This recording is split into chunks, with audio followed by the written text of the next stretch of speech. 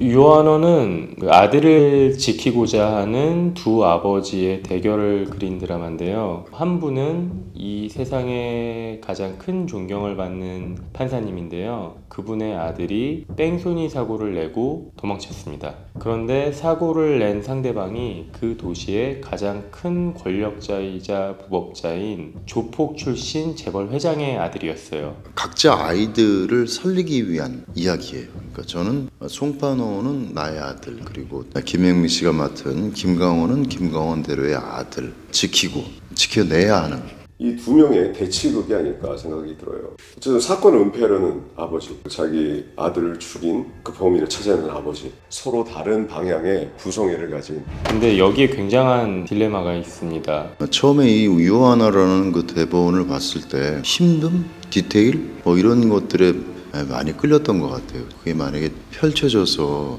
드라마로 찍으면 과연 어떻게 나올까 저도 많이 매료가 됐던 것 같아요. 손현주 형님, 또 유종서 감독님, 표민수 감독님, 뭐 제가 참여를 안 할 이유가 없죠. 너무너무 영광스러운 작업입니다. 제가 여태까지 읽었던 대본들 중에서 엄청나게 재미있는 것 중에 하나로 속했던 것 같아요. 그래서 선택이 아닌 어, 되게 좋았다. 굉장히 글이 긴장감이 있으면서도 좀 감정이 이입이 될 만한 재밌는 좀 인간 군상들의 그 그림들이 굉장히 매력적으로 느껴졌던 시나리오였습니다. 저 약간 좀 운명을 믿는 편인데요. 이제 대본을 들고 집에 간 날 아버지께서 네가 어디 있든 네가 누구든 반드시 찾아낼 거다. 갑자기 이러시는 거예요 저한테. 제 지금 현재 촬영 중인 유어 아너의 미국 버전 인 건데 아버지가 요즘에 가장 재밌게 보고 있는 드라마의 대사라고 하시면서 하필이면 딱 제가 대본을 받은 날 아버지가 그 얘기를 꺼내셔서 어 이거 운명인 건가? 이거 한번 가봐야겠다.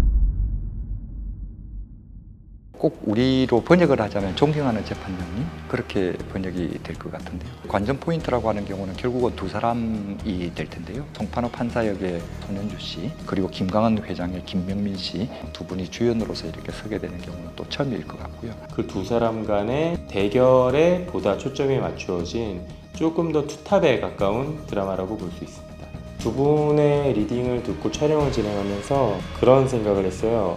야, 내가 이 직업으로 살아오기를 정말 잘했구나. 어, 사실 연기를 어떨 때는 화면을 보면 제가 이런 행동을 했나 싶을 때도 있어요. 요하나는 치밀하고 굉장히 예민하고 그래서 지금도 되도록이면 예민하고 디테일한 부분을 놓치지 않고 어, 잘 조정해서 지금 가고 있습니다. 김강원이라는 인물은 굉장히 차가운 심장의 소유자고 무소불위의 권력자고 어떻게 하면 좀 같이 이렇게 잘 mix를 해서 표현을 할까라는 생각들을 좀 많이 하다가 영화, 뭐 드라마, 뭐 이런 것들을 제가 봐왔던 것들에서 그런 비슷한 인물들을 좀 조합을 해가지고 거기서 reference를 좀 찾은 것 같아요. 지금도 솔직히 연기하면서도 아 이거 그냥 이렇게 해버리고 싶은데 하는 생각이 좀 되게 많거든요. 근데 김강원이라면 이렇게 하지 않았을 텐데 김강원이라면 만세톤처럼 하면서 연기를 하고 있습니다. 근데 굉장히 어렵습니다.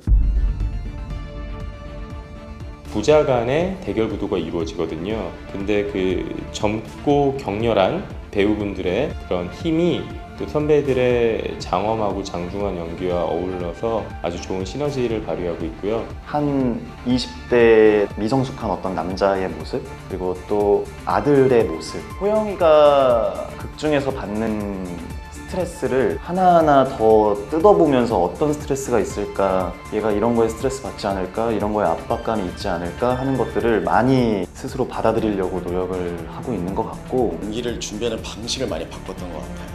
어떤 테크니컬한 그런 것들을 중점을 두기보다는 상상하고 걸으면서 계속 이렇게 저렇게 많은 씬들을 머릿속으로 만들어 봤고요. 제가 너무 계산적으로 연기를 하거나 그러면 음, 매력이 좀 사라질 것 같아서 흘러가는 대로 제 매력들 그런 것들을 제가 느끼면서 연기하지 않으려고 애쓰고 있습니다.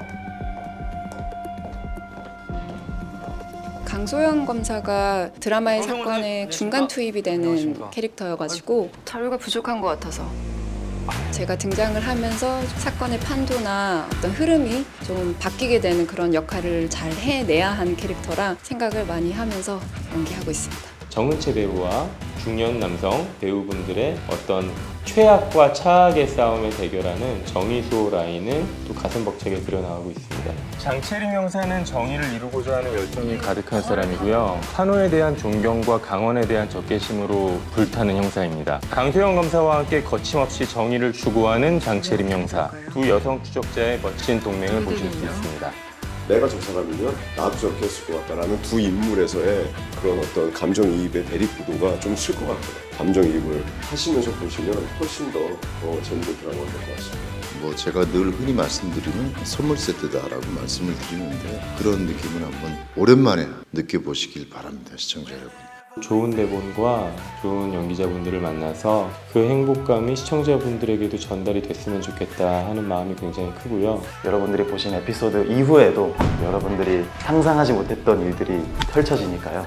끝까지 많은 기대와 관심 부탁드리겠습니다. 부디 이 작품이 여러분들의 마음에 들기를 제가 간절히 기도하겠습니다. 아무튼 저희 유한어 굉장히 재밌는 드라마 또 열심히 만들고 있습니다. 어, 또 여러분들께 올여름 좋은 작품으로 꼭 선보여드리도록 하겠습니다. 유언화가 시작되면 여러분 많이 사랑해 주시고요. 저희들은 끝날 때까지 최선을 다해서 다시 찍을지언정 놓치지 않고 가도록 하겠습니다.